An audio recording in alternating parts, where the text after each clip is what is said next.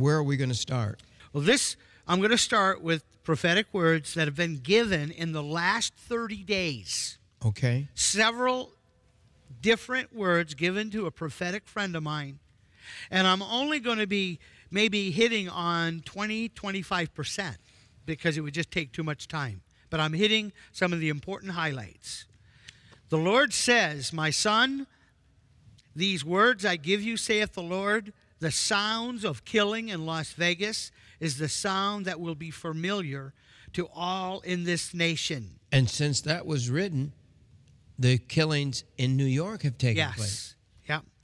And as I've said, when Satan is cast to the earth, this kind of event will be a common occurrence. The strange armies that will come upon this land will strip everything and all will be ravaged. This prophetic words that I'm reading right now is from a prophet that was given four coming judgments. John, the, the scariest thing is when if you're alone and people would attack your house or Mm-hmm. whatever. You know, that that's See, that, that's why we need to create the underground church. This this prophetic there's been more than one prophet that's been told four judgments are coming on America. That before we recover from one judgment, the other one will follow. Well, the judgment of hurricanes, it could take months for that judgment to be cleaned up. yeah. And these prophetic people have been told the next judgment is earthquakes. And that will be followed by a tidal wave on the eastern seaboard. Oh, if that one is from the Canary Islands, that will just pray to God that one doesn't happen. Yeah. The fourth judgment is the invasion of America. Now, you know, David Wilkerson saw this also. He's, he gave three warnings. He says there's a financial collapse coming, there is destruction coming, which I've often thought could be an EMP. And then he said, when we are weak, our enemies will invade us.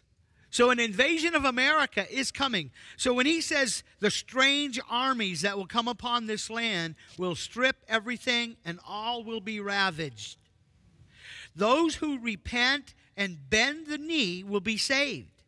Those of my remnant who are led by my spirit will be saved. And he says that during and after these judgments we read all the time. He says, And those who call upon me will be saved. Yes. That's scripture. Well, you know what? Sa- that say, being saved could mean saved in death. Yes. because that's the ultimate of being saved is that when we die death has lost its sting mm-hmm. and we are ushered into the kingdom of god Yeah. never to experience pain again forever and ever and i'll tell you the older you get jim me lori the more you look forward to that body that will never grow old Yes. that body that doesn't need glasses yes. that that body that has get up and go because let me tell you Oh. my get up and go is on, only in first gear sometimes I second know. third have been worn out But they're warning about the sounds of war. Was that we're ta- That's what the Bible speaks about. Mm-hmm. We're going to w- rumors of war even, and that the evil that has come upon the earth in, in, in ways that we can't imagine. That these foul spirits will inhabit any person that has turned away from me. Uh, Rick Joyner has talked about the hordes of hell. Yes. I don't know. Have you Years read his ago. books? Anybody here? Final Quest. Final Quest and all. This is what he says in his book, and this is what he describes. The hordes of hell are awful, John. mm-hmm. They're they're diabolical. and and the hordes of hell are being unleashed onto the earth as Satan and his minions are cast to the earth That's right. and that is the period that we are entering right now But there's going to be the more events will be in events, and you sporting events. You said Mm-hmm. even there's going to be uh, terrible things happening. yes And uh, My son, the windows of heaven are open, ready to pour out mercy and grace, but no one will listen. No one listens to my prophets. Those that criticize my prophets will not be ready. My church believes the lies of the false prophets. There will be no prosperity, happiness, and the false happy days of the past.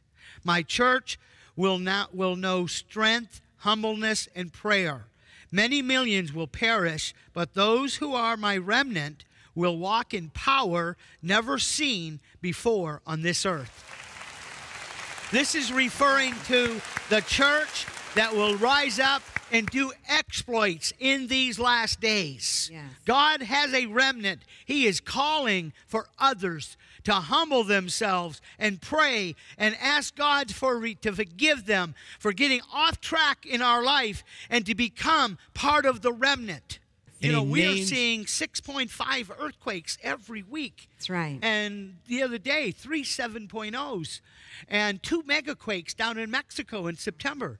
I mean, the season of earthquakes truly has begun. But he says this big one is which is coming. I feel like he's talking about one coming next. Mm-hmm. But he said the a very big one. He's going to. He said, for my son, be ready to share the gospel after the next attack. The whole nation will be in fear, and uh, See, this is where I believe your audience is going to double. When the nation is in fear, they're going to be looking for answers. Yeah. And nobody out there, except for your show, is really warning the church for what's coming. So let's go on to the next. So the next one, I, like I said, I'm only picking out little bits and pieces. We could be here for a couple more shows. uh, my son, many voices will speak in the last days of peace, prosperity, longevity, and happiness, but they do not hear my voice. They hear the voice of a lying spirit. In Jeremiah, when the king didn't want to listen to Jeremiah and he threw him in the sewer pit, he called in other prophets that were willing to tell the king what he wanted to hear. And, and, the, and the Lord says, I will allow lying spirits to speak through his prophets so that if you don't want to hear the truth, I will let you listen and believe a lie. And I'll tell you, this is where we are in America. The church doesn't want to hear about doom and gloom, don't want to hear from the watchman on the wall, don't want to hear that the end of happy days is past. Mm. Mm-hmm. No, hey, I get excited that the Lord is coming. Yes. I this is not my home. Right. I'm ready to move on. Amen. So then he goes on and says, My son, war is coming to this nation. This is the fourth judgment upon this nation. Mm. Many of my sons and daughters will die by the sword. Many churches will be utterly destroyed. I tell you now what the fourth judgment is because now have all the plans been laid. The armies will come from the north and the east.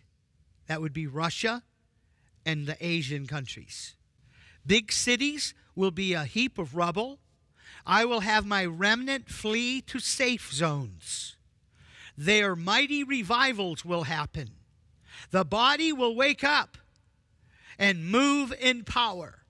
I remember hearing from my friend that the Lord said each of the four judgments, the church would go back to sleep until the fourth judgment, which would bring a total wake up of all those that will wake up. Going on, it says, It is during this time that my bride becomes the brightest light.